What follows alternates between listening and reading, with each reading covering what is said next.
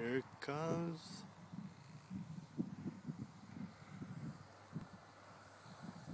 Nice, dude. That was cool.